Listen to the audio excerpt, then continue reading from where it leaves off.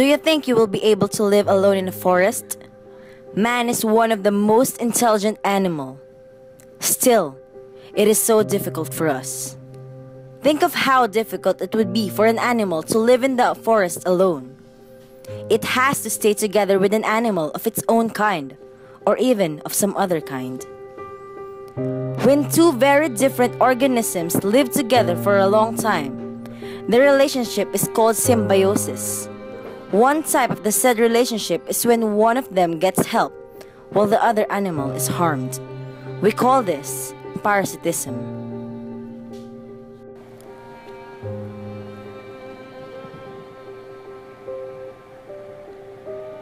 A parasitized caterpillar has spent the last 12 days gorging itself.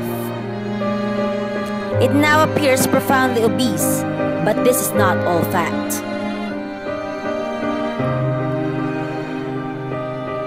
The glomerata wasp larvae lie just under its skin.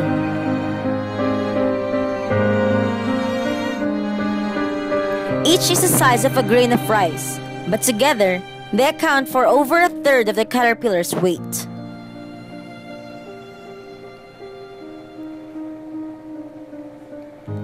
The larvae have not yet finished growing and need to keep their host alive.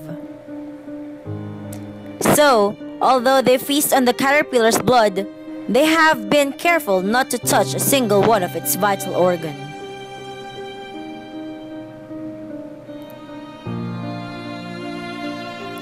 This uneasy truce will not last. Within days, the larvae carefully matured.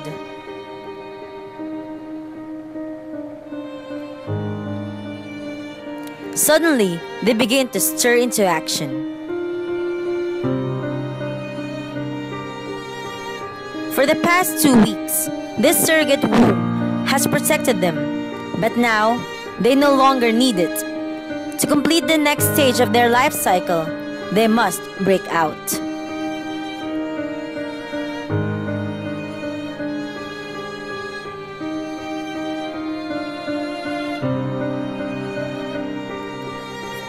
The caterpillar's thick skin should be a solid barrier to the parasitic wasp larvae. But as their bodies have grown, they have developed tiny saw-like teeth.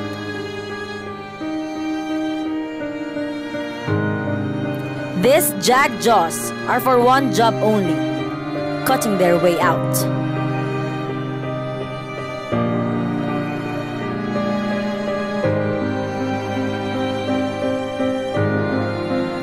Stroke by stroke, the larvae slice through the tough layer of skin.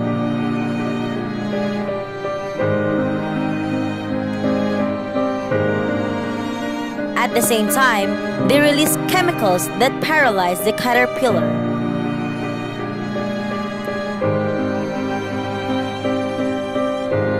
As the larvae break through, there is nothing they can do.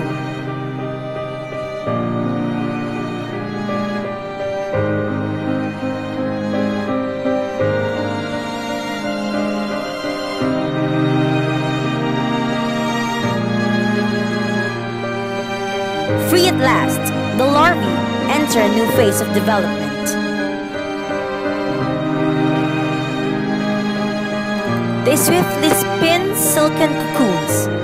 This will provide the perfect environment for their final transformation.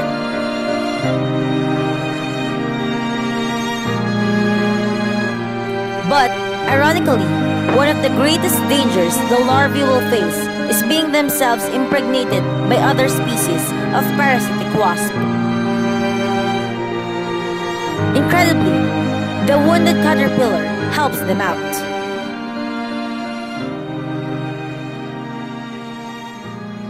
Usually, a caterpillar would spin a silken blanket to make its own cocoon, but the parasitized caterpillar spins his blanket on top of the wasp cocoons, giving them an extra layer of protection. Scientists believe that the same wasp virus that infected it weeks before has now invaded the caterpillar's brain and caused this bizarre corruption of its normal behavior. Amazingly, the caterpillar's natural aggression is now also exploited by the wasp virus.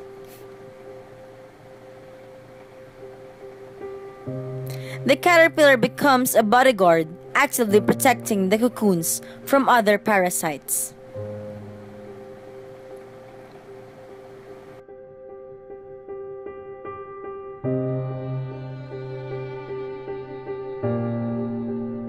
Beneath this peaceful landscape, a snail has eaten parasites.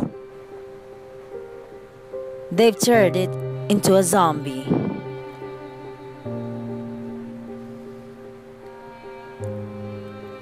These spectacular, bizarre, bulging eyeballs are the snail's tentacles. Inside them, parasitic worms have done an amazing feat of mind control. These parasites have taken over the snail's tentacles and its brain. It's all part of an ingenious plan to extend the life of the parasite and its offspring. The snail has become possessed. It is doomed now to follow the parasite's will. And the parasite is on the move, looking for another host. Next, the parasite needs a bird. Hypnotized, the snail marches into the sunshine. They climb from the shade to the tips of exposed branches above.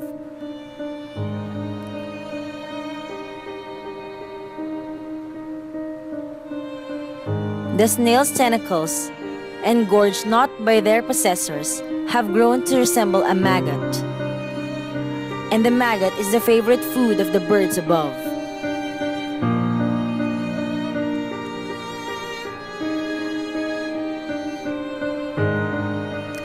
Instant, the birds attacks, and the parasite triumphs. The parasitic worm happily multiplies in the bird's stomach. Its final trick is to complete the cycle but it will have little trouble as the snails below graze on birds' droppings, filled with a new batch of mind-controlling parasites. Once they're eaten, the hypnosis of the snail will continue, and the life cycle of the parasite will roll on.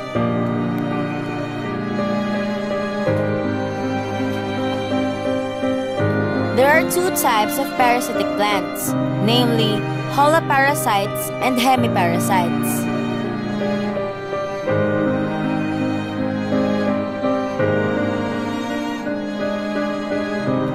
Dodder is an example of a holoparasite. Here, you can see how the dodder plant germinates and grows around its host. First, it searches for a host, in this case, the tomato.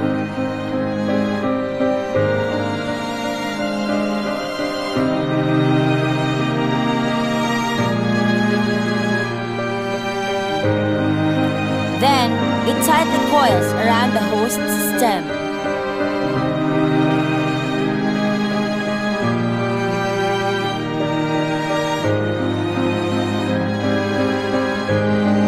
The coils then make haustorial connections.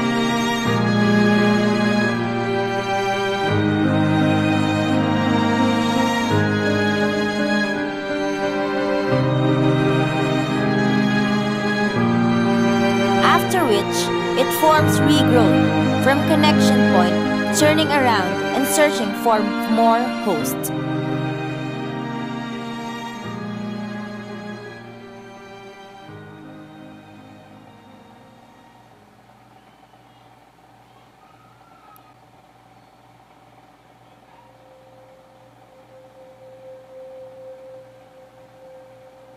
In the end, the host will be completely covered with dodder plant.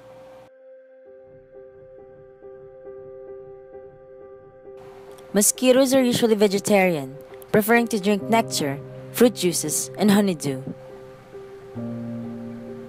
Only a pregnant mosquito will bite humans, sipping nutrients from blood to nourish her developing eggs.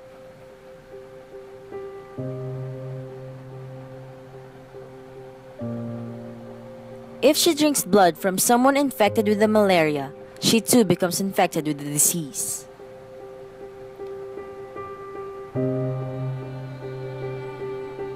The tiny drop of blood filling the insect's stomach is teeming with malaria parasites.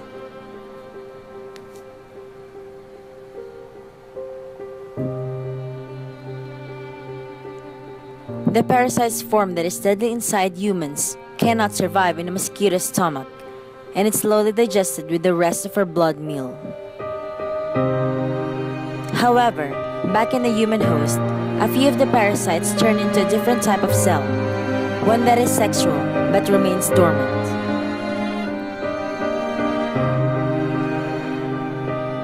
Malaria sex is triggered when the warm human blood begins to cool inside the insect's stomach. The female former, the parasites mature to an egg.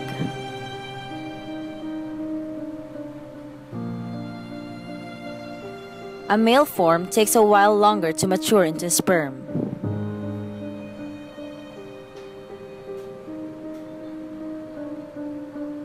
This sperm is from an earlier fade.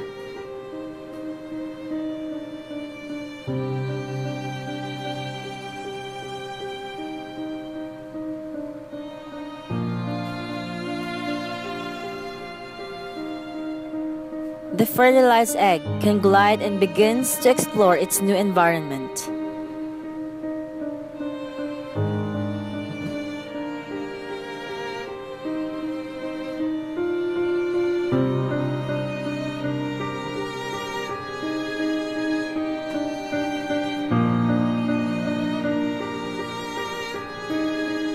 It migrates to the outer lining of the mosquito's stomach before transforming into a cyst.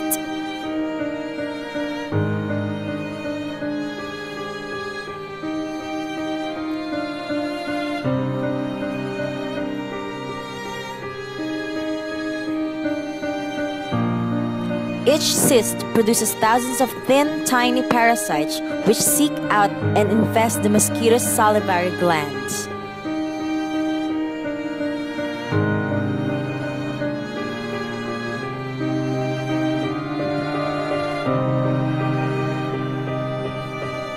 Next time the mosquito bites a victim, the malaria parasites will ride in with her saliva and infect another human.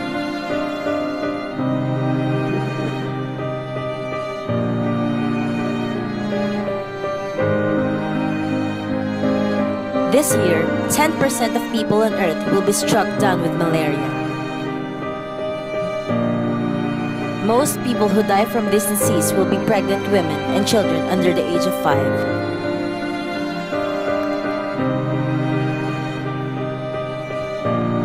Some stage in host-parasite co-evolution, the relationship may become beneficial to both species. This relationship is termed mutualism Mutualism is a relationship between members of two species in which the survival, growth, or reproduction is enhanced for individuals of both species. Mutualistic relationships involve many diverse interactions that extend beyond simply acquiring essential resources. The swollen thorn acacia and its namesake, the acacia ant, have developed a harmonious role in each other's lives. The ant's role is a protector, and if any of those vines tries to steal the acacia's light, the ant security guards go to work. A few good chops on the vine stem, and it's light out for the vine. The ants don't stop there. This relatively huge grasshopper may think it's gonna take a few bites on the non poisonous acacia. But the ants take a few bites out of it instead. And may throw in a few stings for good measure.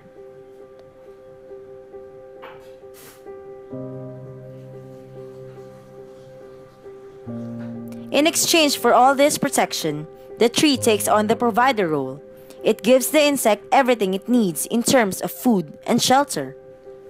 These little nodules or nectaries secrete a sweet nectar for the adult ants to eat. And these brownish pods at the end of some leaves are the perfect nutrient packed foods for the ants developing young, called larvae.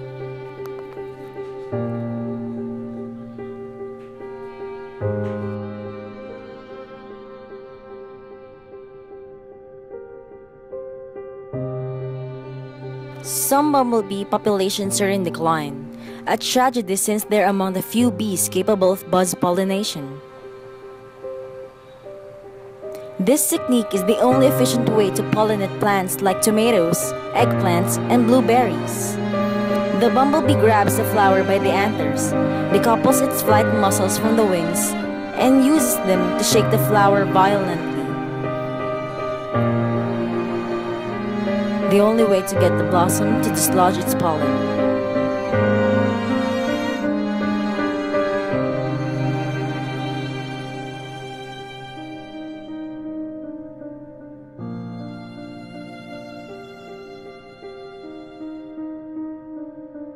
While most people know that mistletoe is a great way to get a kiss at Christmas, a few realize it's actually a parasite. There are about 90 species of mistletoe in Australia alone, and they all send out roots that penetrate the bark of trees and siphon off water and nutrients. The question is, how did they get up to these aerial gardens in the first place? The mistletoe bird. It specializes in popping open parasites, ripe berries, and swallowing the sticky contents. Thanks to the bird's modified digestive system, it only takes half an hour for the mistletoe seeds to pass undamaged from beak to bottom. And that's when the bird starts gardening.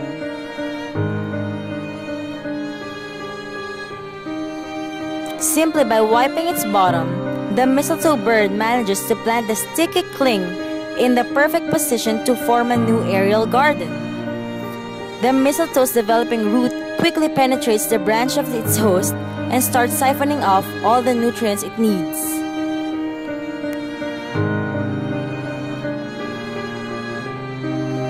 In the United States, there exists a cockroach lacking wings called Cryptocercus punctulatus, this wood-eating insect has become extremely rare. It takes 12 years from the egg hatch to grow a mature adult. Its gut system is complicated. It has symbiotic flagellates inside. About 40 species of peculiar flagellates have been described. Still, there are more together, with also a number of various rare species of bacteria. The cockroach cannot digest the wood particles. This occurs inside the flagellates, who absorbs them by endocytosis.